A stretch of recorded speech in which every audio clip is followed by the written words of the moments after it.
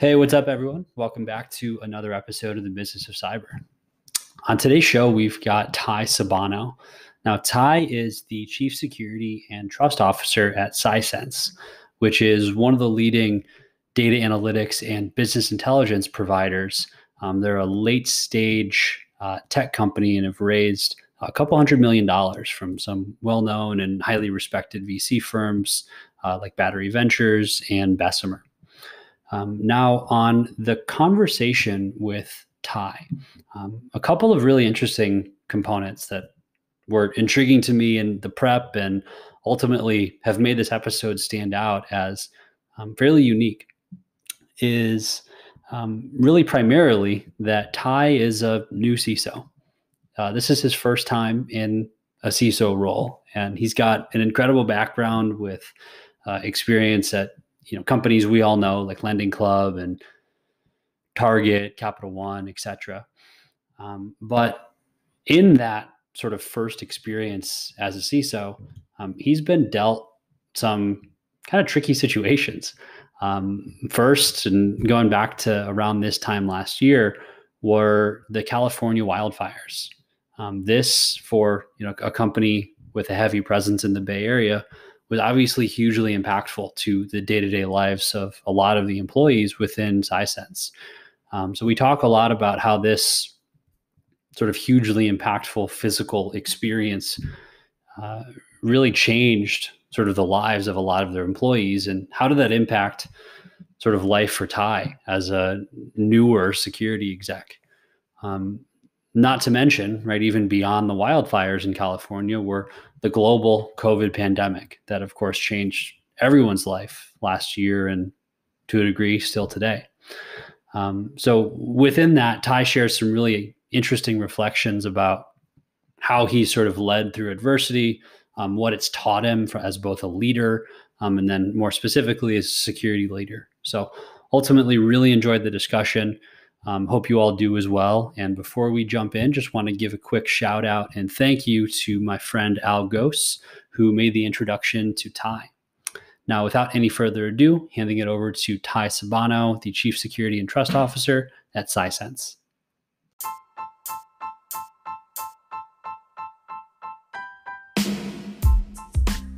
Well, the party is off to a good start.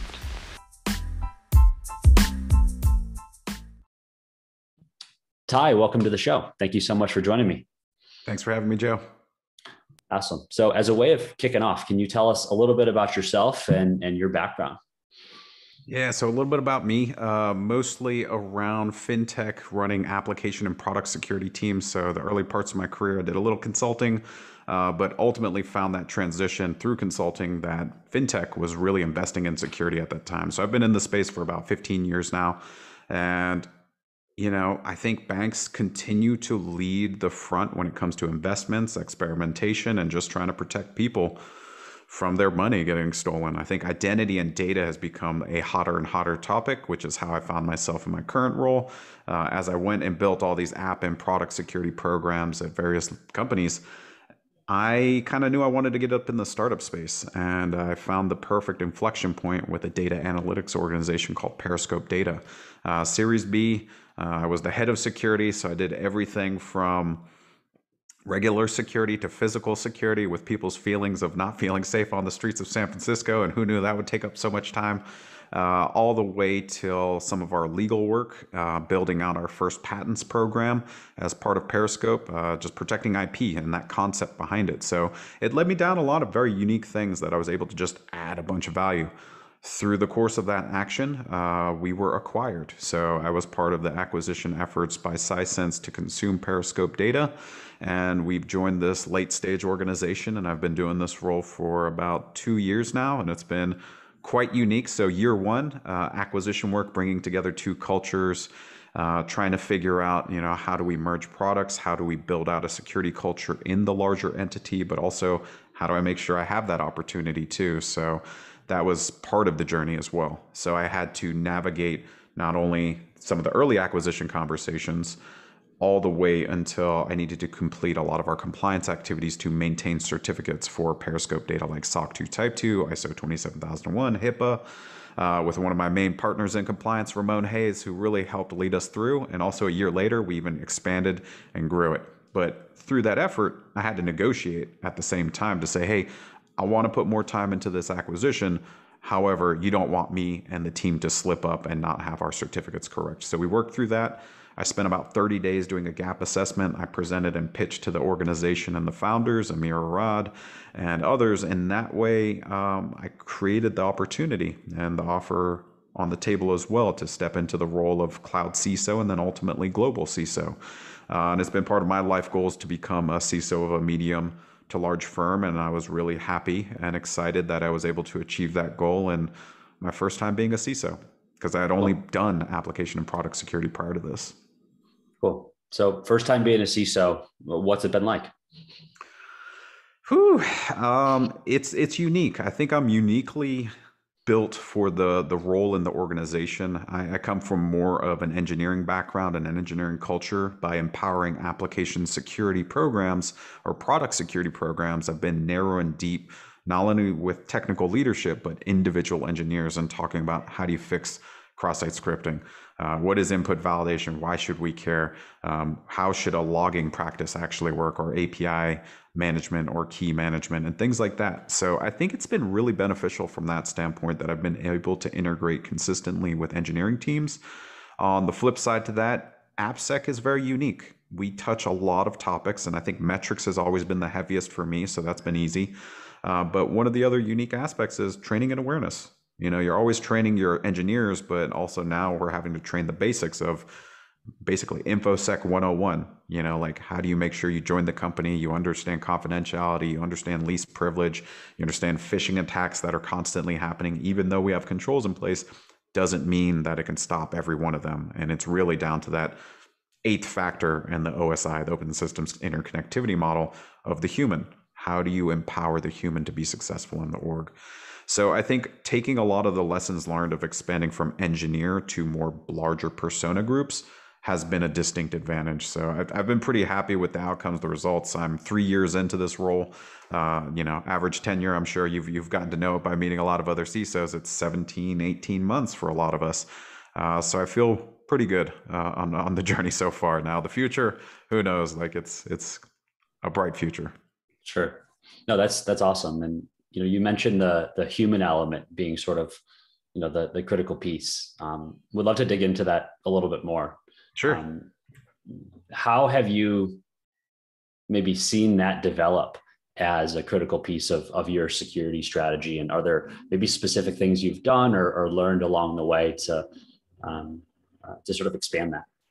Yeah, I think the, the the piece I mentioned about physical security was kind of unique, and and being in California and San Francisco, I I don't know if I was prepared, but again, I would maybe I was distinctly and uniquely prepared for things I do outside of my role. So I've been in martial arts for like half of my life, if not more, like 27 years, more than half my life. Um, 20 some odd years doing martial arts, thinking about operational security, growing up in a military family. There's a lot of things that you learn of how to interact with people, how to interact within crowds and present mm-hmm. yourself and make sure you're safe.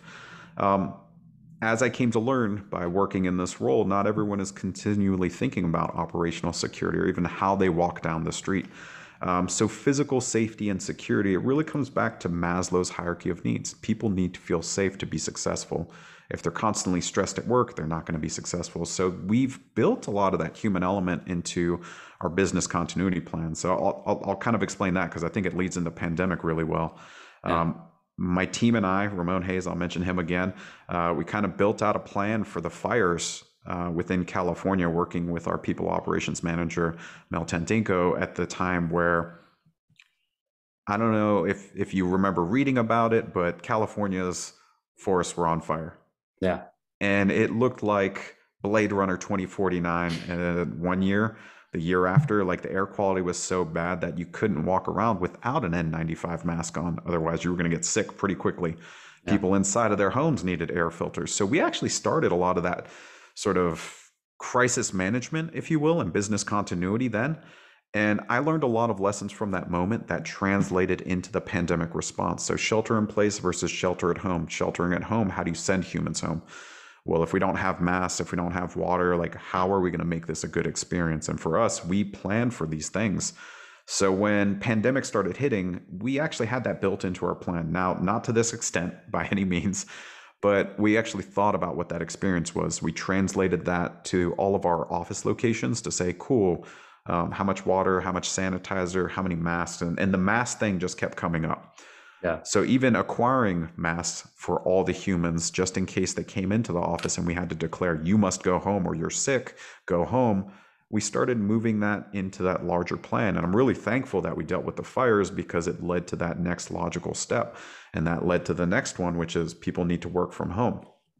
Well, once people started working from home, the mask situation was no longer really relevant. But now let's translate people feeling safe. You're no longer in the office. You need certain aspects of your environment set up. Uh, it took me about six months to invest in mine. I was sitting on like a little tiny desk until I invested in a desk, got a mic stand, got all this other stuff set up because yeah. I wanted the optimal work environment. But when we started the process, not everyone was thinking about it, not everyone was prepared.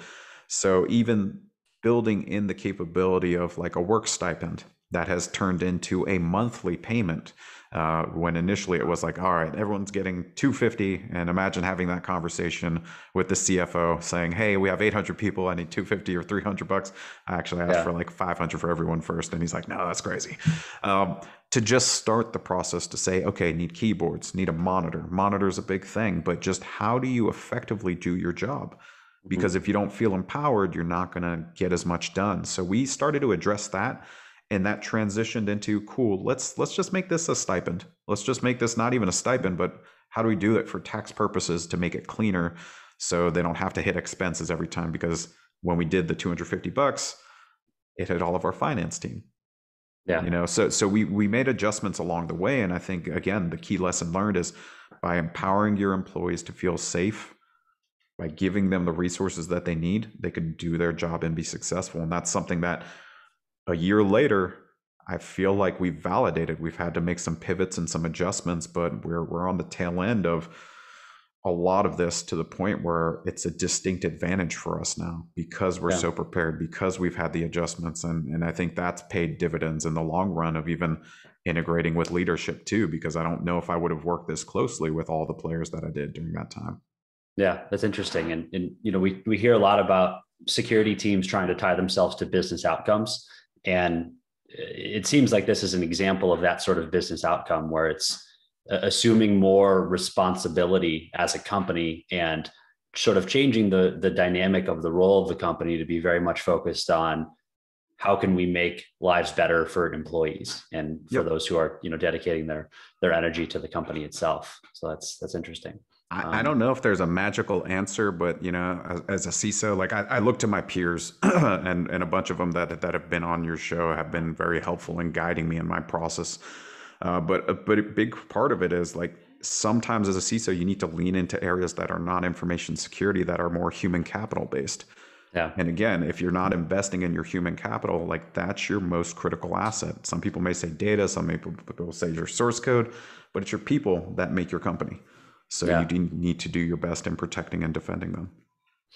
A question about that. I, have had some guests on the show and, and just some other conversations with with CISOs who have been advocates for um, you know what they call dropping the I from the title and making it chief security officer. And yeah. to, to what you just said, it's of course information and data and keeping systems online is is core to business operations, but there's also a, a you know a large component that's non-technical.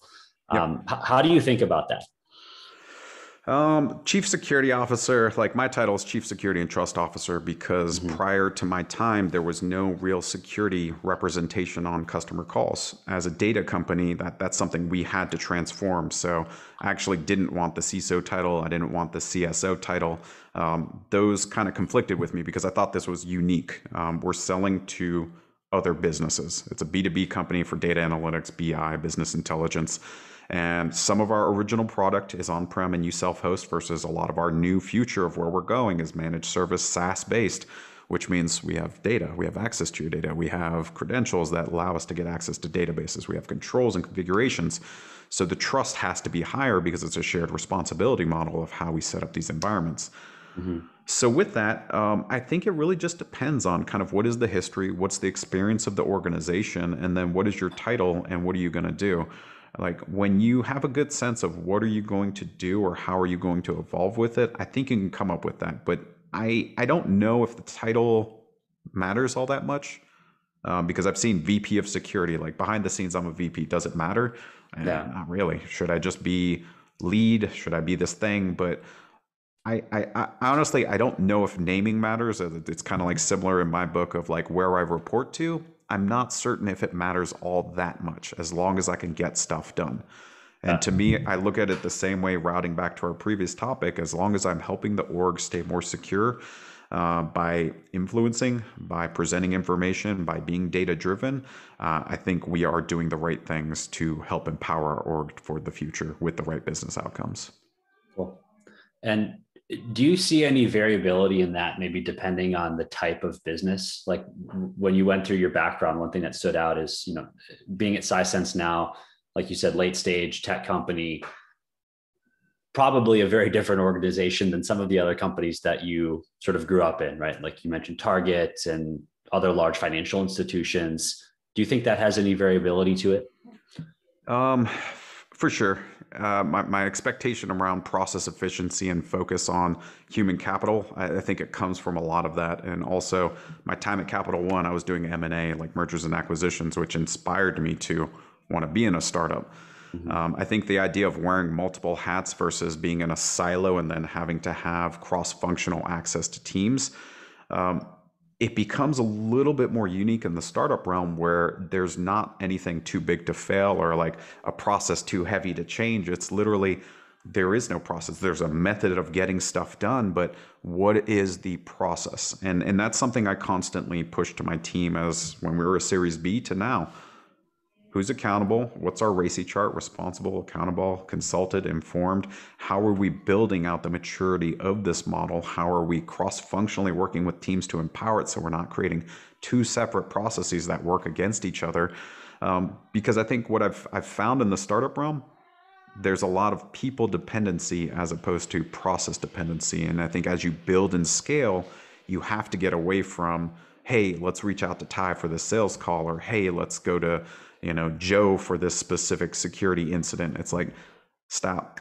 Email security at Slack security team, go into this specific channel, go to this intake, hit, you know, respond to phishing in G Suite directly. Like, there's a yeah. lot more process and cultural changes that I think allow for a rapid response as opposed to I'm always going to Joe. I'm always going to have the same mentality and intellect. But if he's out on vacation, guess what I'm going to do? I'm going to call him. I'm going to Slack him. I'm going to text him. I'm going to get a hold of him, and well, then you you don't get the balance. And I think that's something I've observed that's a, much much different. Is yeah. that you get to become part of the critical chain of the org and the DNA as opposed to your process. And if you keep focusing and refactoring on those intents from larger organizations, there will be better business outcomes because you're trying to get to that point and it won't be perfect in the beginning and it shouldn't be but starting with minimal viable product of what a process should be and yeah. iterating with teams will get you there. Yeah that makes a lot of sense. And you know i i see that as well right? In my my day job of you know you there's uh, sort of core groups of people maybe who have been at the company for a long period of time or just know how things flow who are uh, who you're reliant on for certain elements. Um, and I'm curious just to sort of unpack that a little bit more. How do you go about sort of changing that as a culture or, or changing the behavior to put those processes in place? Like, what are the steps you would take? It's not easy. Uh, so make sure you have thick skin, just like, you know, getting into security and choosing this field. Like, it's not meant for simple. Like if you want to show up and just get a paycheck, like you're not going to get involved with building process. But I, am on the opposite end. I like building. I, I don't like making the widgets over and over and just having the pipeline of the process. To me, that's once you know how to do it, once you can maybe even outsource it or maybe even push it to the right resource in the org. I I don't find that to be that enjoyable. So as a human being, as an individual, I really like building. Um, so how do you go about doing that within a startup? It's be ready. Be ready with the idea that you're going to take on these tasks and you're going to see it through. Um, don't just take something on to just like be a part of it in the meeting, but not actually contribute. And I think my time at Lending Club prior, which was one of the smallest uh, publicly traded companies I'd worked for, I kind of had this trajectory planned and mapped out. Uh, took a little bit of a curve, but at the same time, I got to the point where I was scaling up so I could scale down and be more of an individual contributor. So I think be prepared to work. I think some CISOs jump into startups or heads of securities jump in and then then you say, well, I need more budget to do anything. It's like, here's the reality. You you don't always get the budget and you just have to do the work. So I have a lot of examples where as much as I would have liked resources, budget, all these things, I was the first security hire for this series B and I needed to build this thing from the ground up, but also prove my worth, show my value, get my hands dirty on my keyboard by creating, you know, web app firewall rules, get involved with secure design reviews and not just say, hey, I'm going to outsource this to all these companies. That's that's a different type of CISO, I think, than most startups need, which is direct guidance and involvement depending yeah. on the business model. Yeah. But that that understanding of the business is really critical in understanding what is your role within the business too. Yeah. So can you maybe elaborate that a bit in terms of, you know, you mentioned you needed to show your value and understand the business. How, how did you make that connection? Uh, I think it starts in the interview process. Uh, you know, I, I think if you wait until you get there or a year in until you realize how do I work with the business, go to start, refactor on your plan on how to integrate within organizations because I think it's going to be a tough road to integrate. I think it really starts in the interview cycle. Before you jump on and before you join a journey, make sure you're joining for the right reason. Make sure you're joining because it's the thing that's going to keep you passionate and excited about because it will change. Like if you join a startup and they haven't even figured out product market fit and they're like seed or series A, what happens when they pivot and all of a sudden it goes from business to consumer to business to business? Are you ready for that change or vice versa? Because I think business to business is much different than business to consumer. And if you're not ready for those adjustments, you know, that's part of you know the idea that you probably shouldn't join a startup because the agility of your mind ability to change ability to pivot with the organization that's something you have to recognize in an early stage company versus late stage or publicly traded. You're dropping in for a specific topic a well-defined role potentially it's like we need to lead through a transformation or hey we just lost our leader as part of this security operations team. You're coming in to address that keep the people engaged. Here's what you're going to do. Here's what you're not going to do. And yeah. i think as you factor that out in the discussions with leadership and the executive or the founders, ask them too, like, what what don't you expect me to do? You know, like yeah. I think we always say, what does my day to day look like? That that doesn't exist for a lot of this. But what what do you expect my outcomes to be? And what do you expect me not to be involved with? Because I think if you start with some of those conversations, um, sometimes you'll discover that not everyone knows what security should be doing. Like I, I jumped into a role as part of Periscope data without a job description. How many people are willing to do that? Yeah. Because we we talked through it and eventually for like ISO 27001, I had to write my own job description to showcase it as part of a control because we had to express what is the role of a CISO at Sisense at Periscope data, yeah. etc. Got it. Yeah, it goes back to I mean, sort of the honestly, even one of the fundamental drivers for for the show is that everyone knows security is important, but when you get into it, right, business people don't really know what that means or how it should be really designed or, or structured.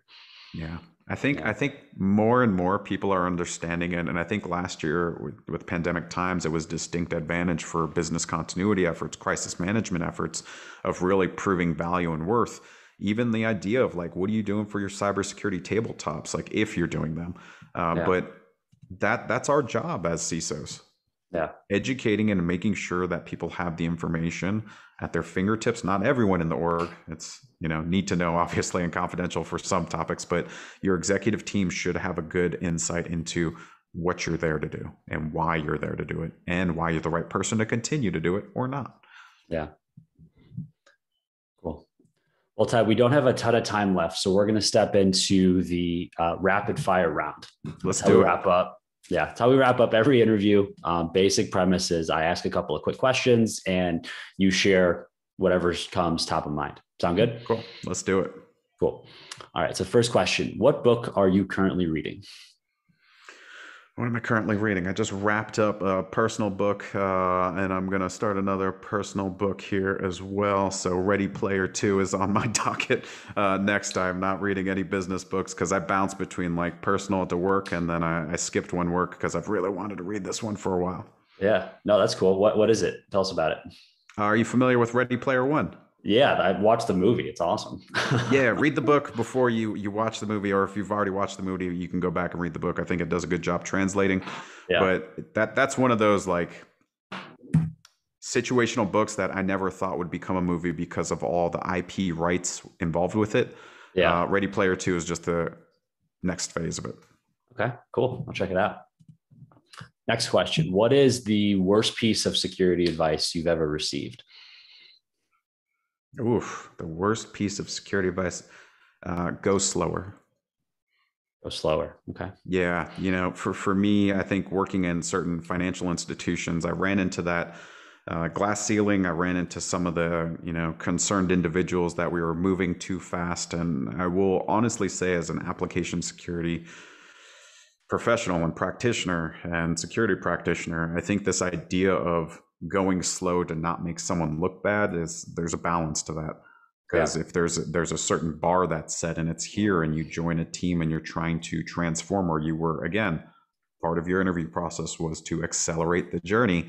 You have to be very careful with who you're taking advice from and how you're taking it but uh, go slow. You're making us look bad. I've heard that a few times in my career and i I, go back and forth. Sometimes that that is par for the course, but by and large, I've I've not really agreed with that. That's why I'm more in the startup realm because I feel like now I don't have to say it. I've not heard it once. It's mostly thank you for going at the speed that you're going, or maybe we can go faster on some things. Yeah, cool. All right, and last one. If you could turn back the hands of time and get a drink with your 20 year old self, uh, yep. what advice would you give him? Whew.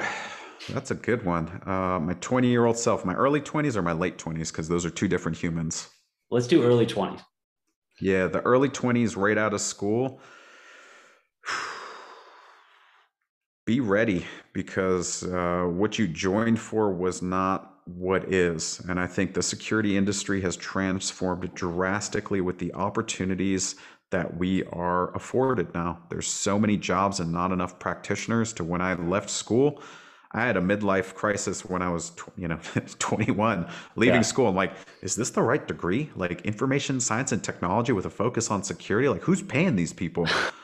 you know, and then I went into consulting and I'm like, well, clearly I'm not getting paid that much. And I really wasn't. Uh, but it was challenging in the onset of, is this the right move? And I, I'm really thankful that it's been worth it to get to this point that that I'm changing my life, my family's life through a lot of hard work and dedication on a subject matter that it was unclear if it was going to be affording a lot of future opportunities because it was such a small niche skill set. Um, yeah. So I think stay dedicated to the course and keep going. Yeah, love it. Cool, Ty. Well, it's a pleasure meeting you, man. Thank you so much for for taking the time and, and joining me on the show. Yeah, thanks for having me, Joe.